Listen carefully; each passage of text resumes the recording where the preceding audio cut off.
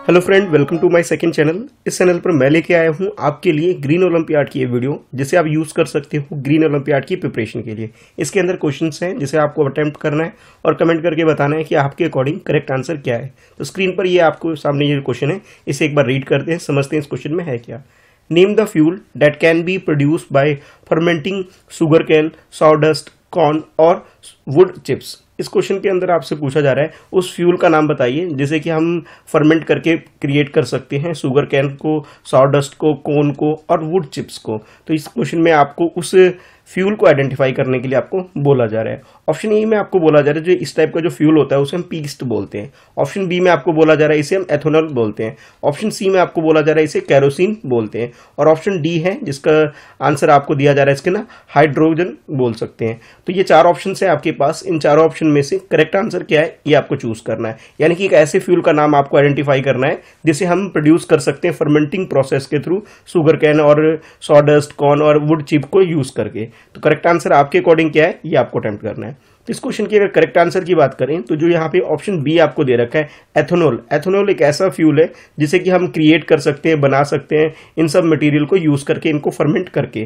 तो जैसे आजकल जैसे आजकल जो जैसे पेट्रोल वगैरह भी है, उसके अंदर भी एथोनॉल वगैरह को मिक्स किया जा रहा है. तो ताकि जो पेट्रोल की जो रिक्वायरमेंट है, बाहर की कंट्री से हमें ना लेनी पड़ी, इसलिए इसलिए ये चीज़ें की जा रही है. तो जो क्रिएट किया जा रहा है, उसके अंदर ये शुगर कैन सॉडेस्ट कॉर्न ये सब चीज़ों को इस्तेमाल करके इसे बनाया जा रहा है. ठीक है? तो इस तरह से आप करेक्ट ऑप्शन बी लगा सकते हैं इस आंसर में। इसके बाद नेक्स्ट क्वेश्चन है आपके लिए। इस क्वेश्चन में पूछा जा रहा है कि plants generally grow in soil but they can also be grown in the liquid medium the latter method is called अब देखिए, इस क्वेश्चन में आपसे पूछा जा रहा है, जैसे कई बार आपने देखा होगा, कुछ प्लांट ऐसे होते हैं जो कि सोइल के अंदर भी तो ग्रो करते हैं, करते करते हैं। इसके अलावा वो लोग वाटर या फिर किसी भी लिक्विड मीडियम में भी ग्रो कर लेते हैं। जैसे मनी प्लांट आप लोगों ने देखा होगा कि मनी प्लांट को किसी पानी की बोतल में डाल करके भी अगर हम ग्रो करवाना चाहें तो ग्रो करवा सकते हैं। तो ये जो मेथड है, इस मेथड को क्या बोला जा रहा है, ये क्वेश्चन में पूछा जा रहा है। ज़्यादातर क्या होता है कि सोइल के अंदर ग्रो करते हैं प्लांट लेकिन कुछ प्लांट ऐसे होते हैं जो सोइल के साथ साथ किसी लिक्विड मीडियम के थ्रू भी आप इसे ग्रो करवा सकते हो। तो इस क्वेश्चन में उस मेथड के बारे में आपसे पूछा जा रहा है और चार ऑप्शन आपको दे दिए गए इन चारों में से करेक्ट ऑप्शन क्या है? ये आपको चूज़ करना है। ऑप्शन ए में बोला जा रहा है, ये जो प्रोसेस है जिसमें लिक्विड के अंदर प्लांट को ग्रो करते हैं, उसे हम हाइड्रोपोनिक बोलते हैं। ऑप्शन बी में बोला जा रहा है, इसे हम हाइड्रोस्टैटिक बोलते हैं। और ऑप्शन सी में आपको बोला जा रहा है, इसे हाइड्रोस्कोपिक्स बोलते हैं। और ऑप्शन डी में आपको बोला जा रहा है, इसे हम हाइड्रोफोबिक्स बोलते हैं। तो ये चार ऑप्शन आपको दिए गए जा रहे हैं। इन चारों ऑप्शन में से करेक्ट आंसर आपके अकॉर्डिंग क्या है? ये क्वेश्चन को आपको अटेम्प्ट कर लेना है। तो इस क्वेश्चन की अगर करेक्ट आंसर की बात करें तो जो आपको ऑप्शन ए दे रखा है, यानी फ़र्स्ट ऑप्शन जो आपको दे रखा है, ये इसका करेक्ट आंसर है। यानी कि ऐसे प्लांट जो कि सोइल के साथ साथ वाटर के अंदर या फिर किसी भी लिक्विड मीडियम में ग्रो करते हैं, उसे हम, उस प्रोसेस को हम हाइड्रोपोनिक्स बोल देते हैं। तो करेक्ट आंसर आपका ऑप्शन ए हो जाएगा। इसके बाद नेक्स्ट क्वेश्चन है। इस क्वेश्चन में आपसे पूछा जा रहा है कि hybrid rice is a type of rice produce by the cross breeding two different kind of rice which Asian scientist is known for as the father of hybrid rice देखिए, होता क्या है, जैसे कोई भी राइस है, जैसे एक क्वालिटी का राइस है, और उसको दूसरी क्वालिटी के राइस के साथ जब मिक्स करके उसे हाइब्रिड राइस में क्रिएट किया जाता है तो तीसरे तरह का राइस क्रिएट हो जाता है, एक डिफरेंट टाइप ऑफ़ राइस आप कह सकते हो, इसे क्रिएट किया जाता है। ये साइंटिफिकली इसे प्रोड्यूस किया जाता है, इसे बनाया जाता है। तो एक साइंटिस्ट हैं, जो कि एशिया के अंदर इस तरह का काम करते हैं, और उसे बोला जाता है फादर ऑफ़ हाइब्रिड राइस तो वो पर्सन कौन है? उस पर्सन को आपको आइडेंटिफाई करने के लिए बोला जा रहा है। तो यहाँ चार ऑप्शन आपको दे दिए गए चारों ऑप्शन में से करेक्ट आंसर क्या है? ये आपको चूज़ करना है। यानी कि किनको father of the hybrid rice बोला जाता है, उस पर्सन का नाम आपको बताना है। ऑप्शन ए में बोला जा रहा है, इसका नाम है M S Swaminathan. Option B में आपको बोला जा रहा है कि युआन लॉन्गपिंग वो पर्सन है, जिन्हें फादर ऑफ़ हाइब्रिड राइस बोल सकते हैं। ऑप्शन सी में आपको बोला जा रहा है कि ये काम जो है, ये साइंटिस्ट जो है, उनका नाम है कैलाशनाथ कॉल है। और ऑप्शन डी में आपको बोला जा रहा है कि सतोशी ओ मुरा एक पर्सन है, जो कि हम बोल सकते हैं उनको कि फादर ऑफ़ हाइब्रिड राइस तो ये चार ऑप्शन आपके सामने हैं। इन चारों ऑप्शन में से आपके अकॉर्डिंग करेक्ट आंसर क्या है, ये आपको चूज़ करना है। देखिए, इस क्वेश्चन की अगर करेक्ट आंसर की बात करें तो जिसमें जो बी ऑप्शन दे रखा है, यानी कि युआन लॉन्गपिंग जो है, ये ऐसे पर्सन है जो कि इस तरह का काम करते हैं और इसे फादर ऑफ़ हाइब्रिड राइस भी बोला जाता है। यानी कि two different kind of rice है और उसकी जो क्वालिटी है, उनमें कुछ रिसर्च करके ये थ्री थर्ड टाइप का एक राइस क्रिएट करते करते हैं, जिसकी वजह से ये इनको फादर ऑफ़ हाइब्रिड राइस भी बोला जाता है। तो करेक्ट आंसर आपका यहाँ ऑप्शन बी हो गया।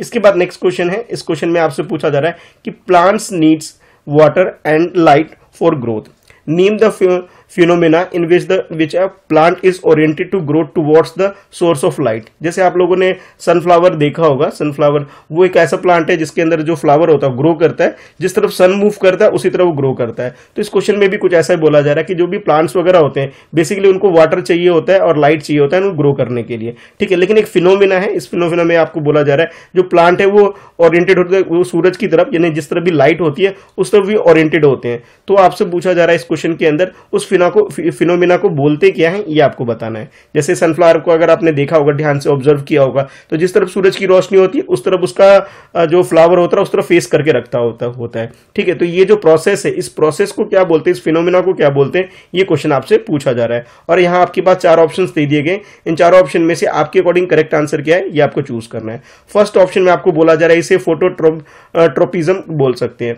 ऑप्शन बी में आपको बोला जाए इसे फ़ोटो रेस्पिरेशन बोलते हैं। और ऑप्शन सी में आपको बोला जा रहा है, इसे फ़ोटो क्रोमोमेशिज्म बोलते हैं। और ऑप्शन डी में आपको बोला जा रहा है, इसे फ़ोटो पीरियोडिज्म बोलते हैं। तो ये चार ऑप्शन आपके सामने, इन चारों ऑप्शन में से करेक्ट आंसर क्या है, ये आपको चूज़ करना है। चलिए क्वेश्चन को अटैम्प्ट कर लीजिए। तो इस क्वेश्चन के अगर करेक्ट आंसर की बात करें तो इसमें जो फ़र्स्ट ऑप्शन आपको दे रखा है, ये इसका करेक्ट आंसर है। यानी कि ये जो प्रोसेस होता है, जिसके अंदर कोई भी प्लांट सन की तरफ़ या लाइट की तरफ़ जो उसका फेस एक तरह से कह सकते हो होता है, उसे हम फोटोट्रोपिज्म बोलते हैं। तो इस तरह से आप यहाँ फ़र्स्ट ऑप्शन जो आपको दे रखा है, इस पर टिक कर सकते हैं, ये आपका करेक्ट आंसर हो जाएगा। इसके बाद नेक्स्ट क्वेश्चन है। इस क्वेश्चन में आपसे पूछा जा रहा है name the process that uses micro organism for the removing salt from the soil एक प्रोसेस के बारे में आपसे क्वेश्चन पूछा जा रहा है, जिसके अंदर होता है क्या है कि कोई भी माइक्रो ऑर्गेनिज्म जो होता है, उसके वो रिमूव करता है सॉल्ट सोइल के अंदर से। सोइल के अंदर जैसे सॉल्ट वगैरह मिक्स हो गया है तो सॉल्ट को कैसे रिमूव करते हैं? रिमूव करने की प्रोसेस के बारे में आपसे पूछा जा रहा है। उस प्रोसेस का आपको नाम बताना है। ऑप्शन ए में आपको बोला जा रहा है कि ये जो प्रोसेस होता है, इसे हम सैनिलेशन बोलते हैं। ऑप्शन बी में आपको बोला जा रहा है इसे बायो रिमिडेशन बोलते हैं। और ऑप्शन सी में आपको बोला जा रहा है इसे ऑक्सीडेशन बोलते हैं। और ऑप्शन डी में आपको बोला जा रहा है इसे पाइथो रेमिडिशन बोलते हैं। तो ये चार ऑप्शन आपको दे रखे हैं। इन चार ऑप्शन में से आपके अकॉर्डिंग करेक्ट आंसर क्या है, ये आपको चूज़ करना है।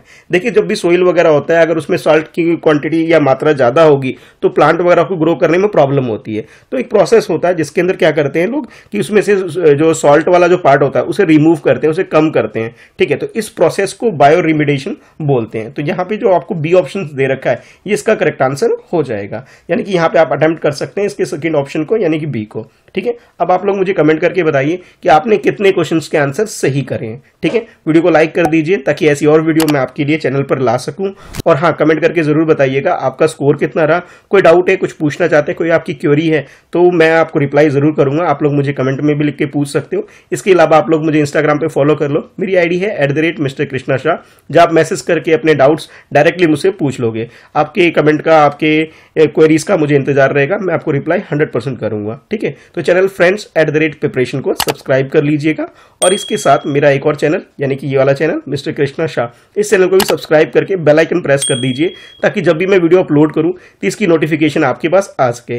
ग्रीन ओलंपियाड से रिलेटेड और भी वीडियो देखने के लिए आप चैनल के प्लेलिस्ट सेक्शन में जाकर के ग्रीन ओलंपियाड की प्लेलिस्ट में जाकर सारी वीडियो देख सकते हैं और अपने इस एग्ज़ाम की प्रिपरेशन कर सकते हैं। ठीक है, अगर आप केंद्रीय विद्यालय के स्टूडेंट हैं तो आप लोग मेरा टेलीग्राम ग्रुप ज्वाइन कर लीजिए, जहाँ आपको केंद्रीय विद्यालय से रिलेटेड सारी अपडेट्स आपको टाइम टू टाइम मिलते रहेगी। इन सबका लिंक आपको नीचे डिस्क्रिप्शन में मिल जाएगा। ठीक है तो थैंक्स फॉर वॉचिंग बाय